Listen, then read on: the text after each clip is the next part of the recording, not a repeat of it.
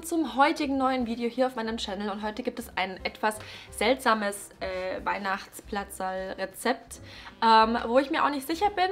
Also es ist nicht so, als ob sie nicht gut wären, aber sie sind sehr eigen. Ähm, ich bin auf jeden Fall gespannt für die Leute, die es nachmachen, was ihr dazu sagt, weil es ist einfach eigen. Ihr werdet es auch gleich merken, wenn ich euch die Zutaten vorlese, dass es etwas eigen ist. Ich habe noch nie von solchen Plätzchen davor gelesen, deswegen haben sie mich auch interessiert. Sie nennen sich auch in dem ähm, Koch-Backbuch, das ich habe, einfach nur Platzerlen und dachte mir so, okay, sehr äh, nichtssagend. Und dann habe ich mir die Zutaten durchgelesen und dachte mir so, oh, interesting, okay, let's do this.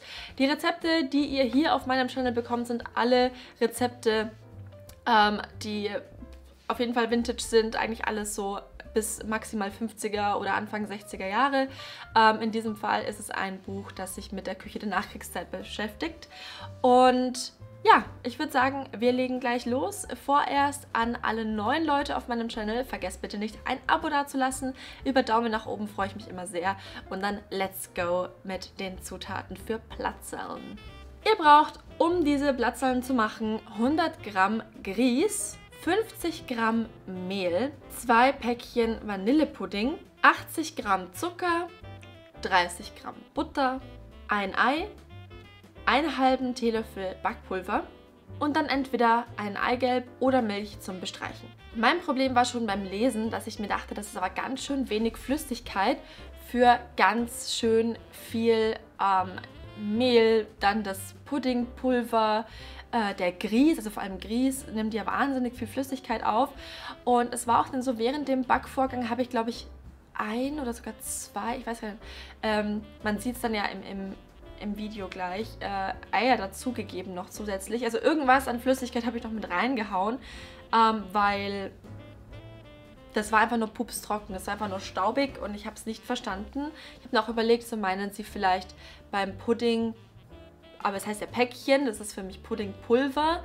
Ähm, aber ja, also es war komisch, es hat dann aber am Ende funktioniert, nachdem ich einfach mehr Dinge dazu gegeben habe, die flüssig sind. Die Zubereitung lautet wie folgt. Ihr müsst einfach alles zu einem glatten Teig verkneten.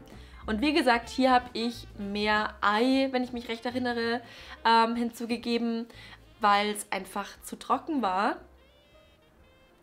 Das Ganze soll dann eigentlich auch noch 30 Minuten in den Kühlschrank.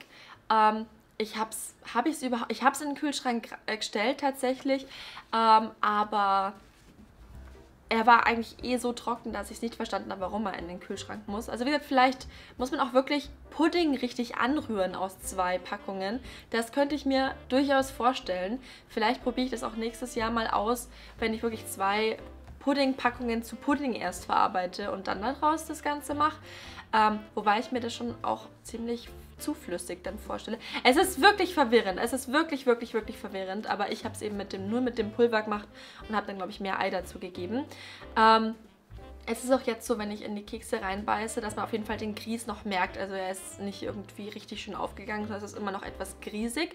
Es schmeckt aber trotzdem gut. Es schmeckt halt wie Vanillepudding. Also du hast einen Keks, einen trockenen Keks, der nach Vanillepudding schmeckt. Ähm, ja, so viel dazu. Ihr müsst dann wie bei allen Plätzchen halt auf einer bemehlten Fläche euch die den Teig ausrollen, Formen ausstechen, Plätzchen ausstechen, das Ganze mit Eigelb oder Milch bestreichen, auf ein mit Backpapier ausgelegtes Backblech legen und ca. 10 Minuten goldgelb bei 160 Grad backen. Sagt mir gerne mal Bescheid in den Kommentaren, wenn ihr sie ausprobiert und wenn ihr sie zum Beispiel wirklich mit angerührtem Vanillepudding machen würdet, ob das funktioniert hat oder ob sie zu flüssig waren. Dann wird es vielleicht sogar Sinn ergeben, warum man sie noch in den Kühlschrank tun muss.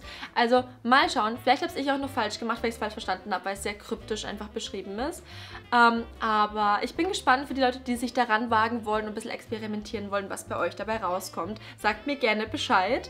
Äh, ich persönlich finde es ganz gut, wenn man über diese Kekse, zumindest in dem Zustand, in dem ich sie jetzt habe, noch irgendwie Schokolade drüber macht oder irgendwas, um das ähm, dieses bisschen trockene einfach noch irgendwie so ein bisschen abzurunden.